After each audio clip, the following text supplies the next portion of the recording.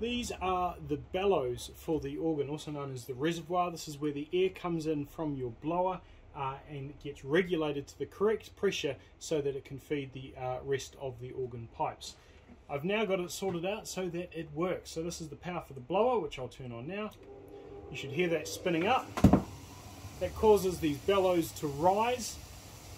Uh, these bellows have weights under here. These are boxes full of crushed concrete. This here is a governor that regulates the amount of air that comes in. So when the bellows are full of air, no more air can comes in. This is attached to a pulley up here. There's a curtain here. So when the bellows goes up, the curtain goes down, blocking air coming in through the main wind line here. So if we were to pull this curtain up slightly, the bellows will rise.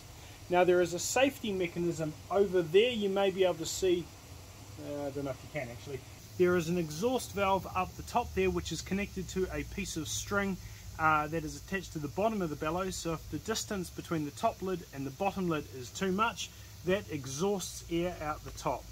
Uh, so let's zoom in briefly and you'll see that working. So that's how the reservoir works.